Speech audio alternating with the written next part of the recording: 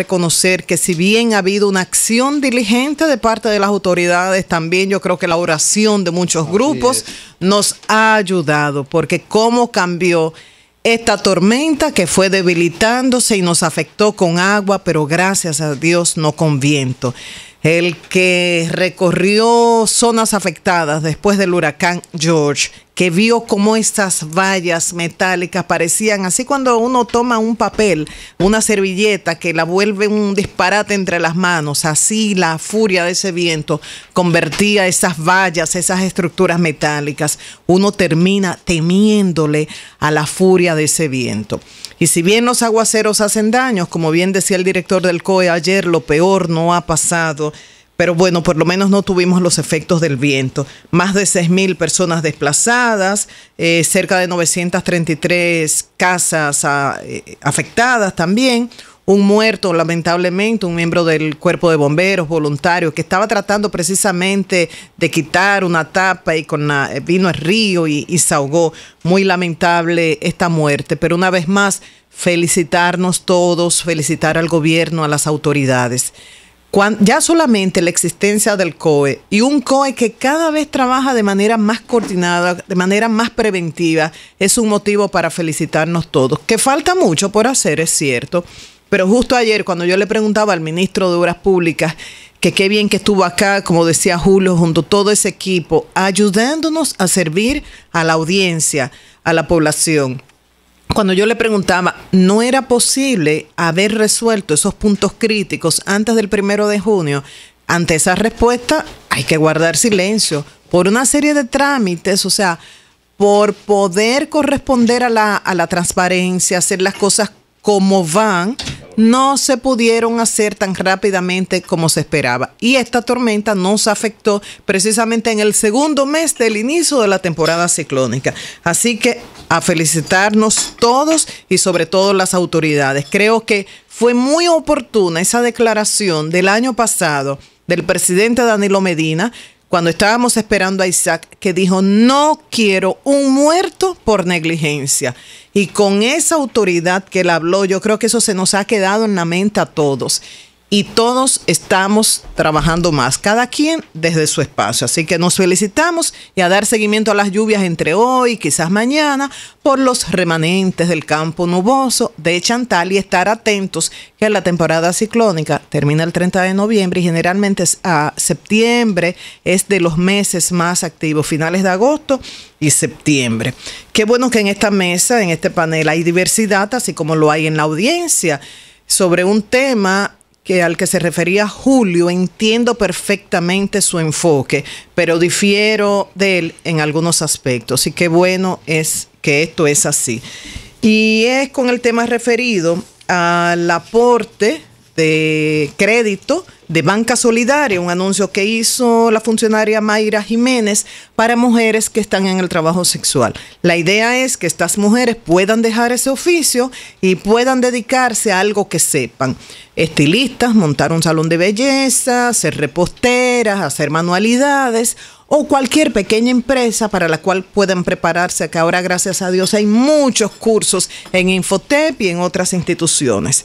Julio destacaba que quizás, eh, bueno, primero, al hablar de trabajadoras sexuales no podemos hablar de un grupo homogéneo, como siempre. Hay gente, ¿verdad? Seria y hay bandidos ahí, igual que entre los periodistas, los médicos, los abogados, o sea que no podemos generalizar. Julio destacaba, muchas mujeres caen en este oficio por una expectativa de altos ingresos y yo creo que sí. Lo que se gana en el trabajo sexual no se ganaría en un empleo y quizás tampoco en una microempresa. De lo que difiero es de que no creo que mucha gente de esa haya tenido otra opción. Mi enfoque en torno al trabajo sexual ha cambiado después de entrevistar a trabajadoras sexuales, hombres y mujeres, y a líderes de la comunidad que trabajan con ese segmento de la población para orientarlos. Con el objetivo número uno, evitar que sigan en eso, tratar de que busquen otra opción de vida. Y número dos, si van a mantener ese oficio, que se cuiden de las enfermedades de transmisión sexual, que son mucho más que simplemente el VIH-Sida, que es lo que más le prestamos atención. cuando uno lee el libro, ríen mis labios, llora mi alma, uno termina llorando. El factor común entre 15, 18 mujeres dedicadas al trabajo sexual entrevistadas por, este, por la autora de este libro. Primero, un hogar disfuncional. Mujeres que se criaron eh, con la abuela, la tía, no tenían hogar. Había un testimonio que a mí se me, ya lo leí hace un tiempo y se me quedó grabado una mujer que dice, yo y un animal éramos los mismos. Yo estaba en el campo, eh, no pude ir a la escuela, iba un día a la semana quizás porque tenía que trabajar en el campo. Y cuando no hacía el trabajo en el campo como debía hacer, me caían a palos. Dice, yo no supe lo que era un cumpleaños, una foto, un bizcocho, regalos, nada. Ella fue saltando de casa en casa, al final la violó el padrastro y cuando se lo dijo a su madre, a su madre biológica, o sea, la madre vio en riesgo la relación con ese hombre que la mantenía, la, relación amorosa, ese hombre que llamaba y sencillamente la votó. La muchachita tenía como 13, 14 años, fue rodando, vivía en parques, dormía en parques terminó relacionándose con un hombre, muchas de ellas ya a los 17, 18 años tienen dos o tres hijos. Entonces, un hogar disfuncional, uno lo ve. La mayoría de ellas han sido violadas, abusadas por miembros de la familia o relacionadas con la familia. Y otro factor común que vi, por lo menos en esas mujeres entrevistadas en ese libro y las que yo he entrevistado directamente en mi rol de periodista, es que tienen dos o tres hijos con 17 o 18 años sin un padre que se haga responsable. Y la mayoría de ellas dicen que se ven obligadas a seguir en ese oficio, aún con el riesgo que, que corren pensando en sus hijos. ¿Tienen otra opción? Podría ser. ¿Están ahí porque les gusta? No creo. Yo creo que ahí eh, Julio recordaba un rol muy difícil que era lavar ropa con las manos. O sea, yo llegué a ver mujeres con heridas ahí en los dedos del agua, del jabón de cuava, de, de, estrujar la ropa. O sea, era un oficio muy difícil. Pero eso, aún con lo difícil que era en esa época, como bien dijo Julio, que no habían lavadoras, que ahora es diferente, no se compara con el oficio de ser trabajadora sexual. Yo oí el testimonio de una mujer que le daban cocaína en Curazao para que pudiera aguantar y pudiera tener relaciones con 20 clientes en un día. Mujeres que eran golpeadas con hombres que tenían esa fantasía. O sea, el, el hombre se excitaba dándole golpes a la mujer y ella no podía aceptar otra, o sea, tenía que aceptarlo encerrada en una habitación. Muchas de ellas le hacen lo que le llaman cubos, lo obligan a tener relación sexual y luego al final no les paga se ven en situaciones de riesgo. Hay algunas que han sido eh, heridas de balas, o sea, es un oficio nada fácil. ¿Quieren mantenerse ahí? No. Entonces, yo aprovecho esta noticia de parte de Banca Solidaria de ayudar con recursos a trabajadoras sexuales para que puedan convertirse en microempresarias. Aprovecho este enfoque válido que hace Julio, que hay muchas mujeres que no dejan el oficio porque no van a tener estos ingresos en otro oficio para que tengamos la oportunidad de escuchar a personas que han trabajado con ellas, como Jacqueline Montero, que es la líder de Modemo, el Movimiento de Mujeres Unidas, como la doctora Marta Arredondo, de Amigas, Siempre Amigas, que ha trabajado no solamente con las trabajadoras sexuales, sino también con los trabajadores sexuales. Ustedes saben que ha afirmado la doctora Marta Arredondo, que es terapeuta y sexóloga ella ha encontrado entre una población, dicen algunos que hay cerca de 20 mil trabajadores sexuales hombres, pero eso no está en estadística. La doctora tampoco lo afirma porque dice que aquí hay un subregistro de eso. Pero ella dice que en ese segmento de la población de trabajadores sexuales hombres ha encontrado maestros, maestros que no han encontrado trabajo en las aulas y profesionales que no solamente tienen una licenciatura y una maestría, sino también un doctorado Dice ella que ha encontrado profesionales que se cansaron de buscar trabajo, que no encontraron trabajo en otro sitio y sencillamente se fueron a un centro turístico. Usted va a Bávaro, va a Boca Chica, va a Puerto Plata, Sosúa, Cabarete y un hombre fácilmente puede vivir, eh, si tiene ciertas condiciones, por su cuerpo con el oficio de trabajo sexual. Que es agradable, que la gente le guste, yo creo que no.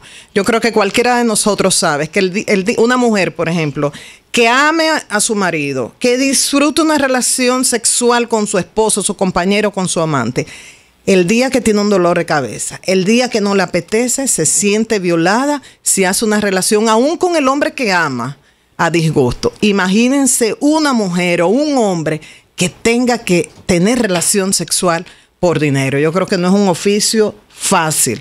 Y Julio, ojalá que podamos debatir esto ampliamente, porque ahora se habla desde una zona rosada, que fue una iniciativa de una diputada, pero hay muchos que se oponen a eso. El procurador imponiendo multas eh, y muchos que dicen que eso no es solución, poner multas. O sea, es un tema que hay que debatir abiertamente. Eh, esa diputada Miñete que busque oficio allí en San José de Ocoa, que mucha papa puede arrancar y dejar la diputación. ¿Cómo voy a proponer que una zona de, de, tolerancia?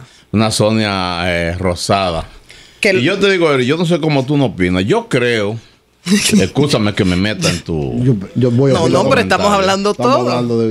No, porque yo creo. Yo siempre estoy en desacuerdo con eso. Yo, exacto. Yo creo en la formación religiosa en la formación, moral. más que religiosa. Formación de fe, formación del catecismo, formación de valores, formación de todo. No me digas a mí, mira, yo en el periódico El Sol hice muchos reportajes sobre los cabarets.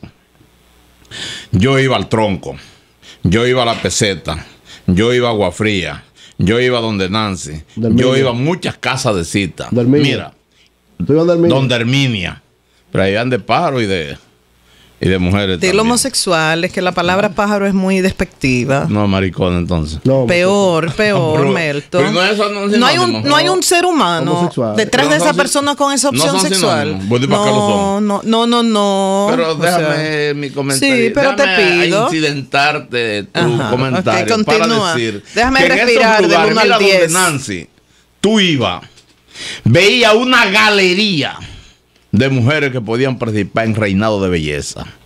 Porque no encontraban marido. Porque no encontraban hogar.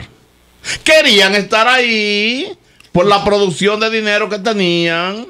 Ay, Melton. O porque son vagabundas. Ay, Melton. Ah, pero espérate, escúchame. Porque tampoco. ahora vamos a echar al suelo a las mujeres serias del hogar. Pero ¿qué es ser vagabunda? A las mujeres que forman hogar. ¿Tú sabes lo que es un hogar? Y todo lo que significa el fuero de un hogar, el fuero de una casa. Para yo estar tolerando ese tipo de cosas. No.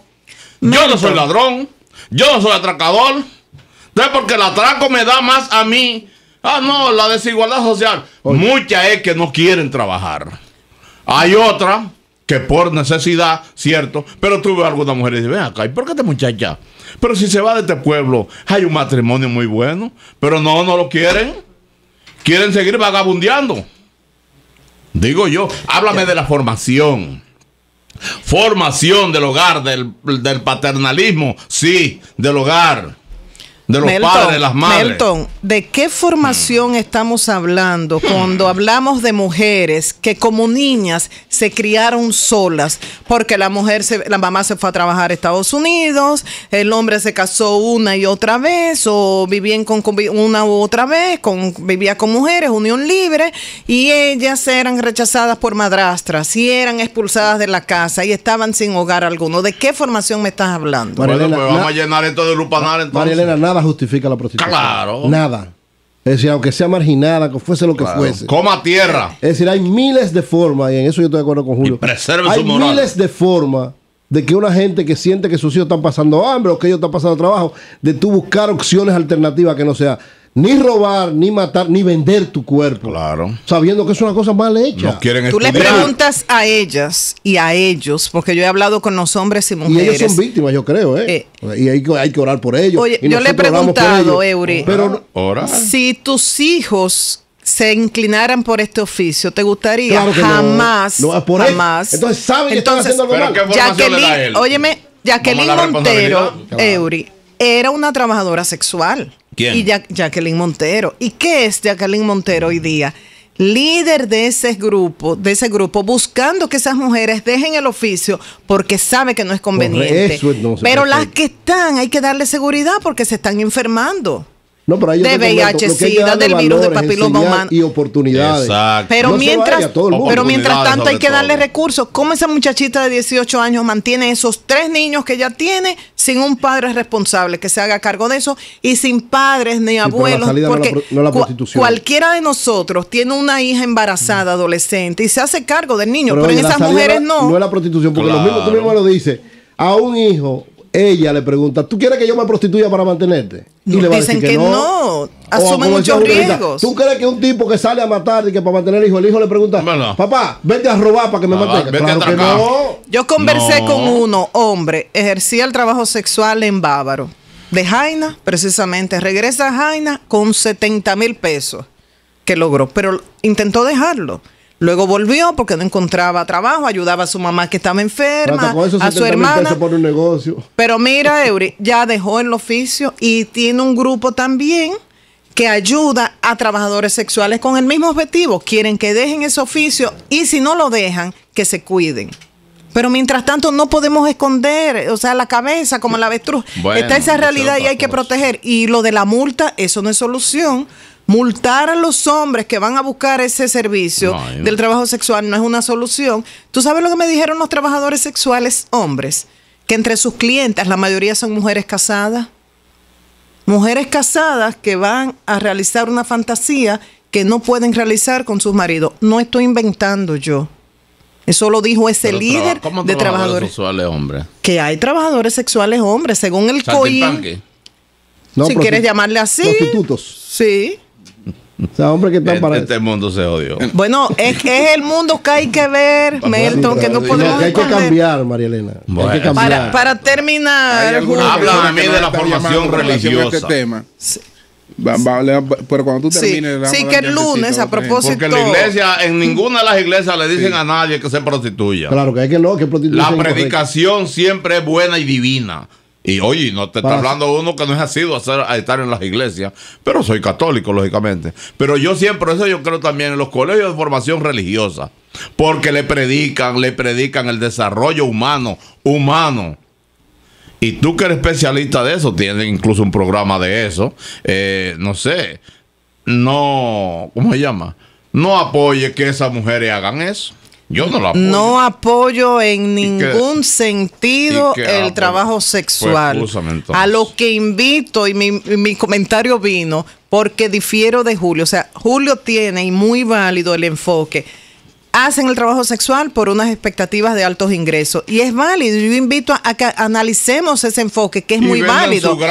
y mi enfoque es... Un buen hogar a veces no tienen otra salida. Son dos enfoques diferentes. Vamos a escuchar la opinión de la gente y la opinión de los expertos más adelante. Mientras tanto, quiero saber si Melton Eury, Julio, quieren, van a poner su cintita negra. Melton, vas a poner tu cinta negra el lunes. Lunes negro han convocado un grupo de evangélicos y cristianos en protesta por la designación del embajador estadounidense en el país. El Yo no señor estoy de James con eso, pero quien lo haga, bueno, que proteste de la forma que Los ministerios evangélicos y la red pastoral invitaron a todos los dominicanos a que pongan una cinta negra en el vehículo. Yo te voy a poner una cinta negra el lunes. Yo ellos dicen, yo no estoy, como ellos dicen, no están en contra de él no, la persona. Están a favor. No, en contra de él no. Dice, dice. En contra de lo que él hace, lo mismo que yo decía. bueno, la embajada americana sabe el riesgo que corre con el crédito en un país que no se admite eso. El gobierno no debería aceptar ese Lunes negro, ¿por qué? Porque ellos dicen que este embajador se va, eh, va a encargar de promover sus creencias de género en el país. ¿Quién dice eso? dice los ministerios evangélicos y la red pastoral. Vamos, vamos a escuchar estas personas Buenos días, adelante. Buenas. Buenos días, adelante. Sí, buenos días. Nos habla más alto, por favor. buen día. Buenos días. Concerniente a lo que estaba hablando María Elena eh, acerca de la prostitución. Yo soy de la que entiendo que el que una mujer no tenga un esposo y no debe de meterse a la prostitución porque hay muchos trabajos que son dignos. Además de eso, si nosotros vamos a ver eso así, todas esas adolescentes que hoy día lo que quieren es buscar marido y, una vida fácil. Entonces se van a meter también a esa vida porque van a salir embarazadas y van a seguir haciendo eso para que eh, de esa manera ya mantener sus hijos. Entonces nosotros no podemos, como un país como este, que está, que se ha ido a la deriva, apoyar esas cosas, porque las mujeres pueden hacer el trabajo digno, no tienen que buscar hombres para mantener sus hijos. Llame todos los días, doña. Muy Gracias por su aporte. Adelante. Sí, buenos días, Julio. Sí. Mira, Julio, yo que casi nunca estoy de acuerdo con Melton. Estoy 100% de acuerdo con, él, con eso que él dijo ahora. 100%. De las mujeres, oye, las mujeres no quieren formar hogar porque tú sabes el sacrificio que es eso es mucho más fácil andar haciendo lo que sea, ¿verdad? Sacrificio es que es un sacrificio y no lo quieren hacer. Lamentablemente es así. Es como dice Melton. Buenos días, adelante. Sí, buen día para el equipo del Sol de la Mañana. Julio. Sí. Usted sabe que Villa Juana, en la parte de la José Jesús Ravelo, era una zona de tolerancia de cuando Trujillo. Sí.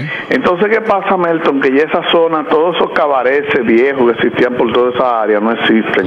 Lo que hay es Dream, en esta parte de donde está San Bill, hasta la, por ahí donde está la esquina de la MET.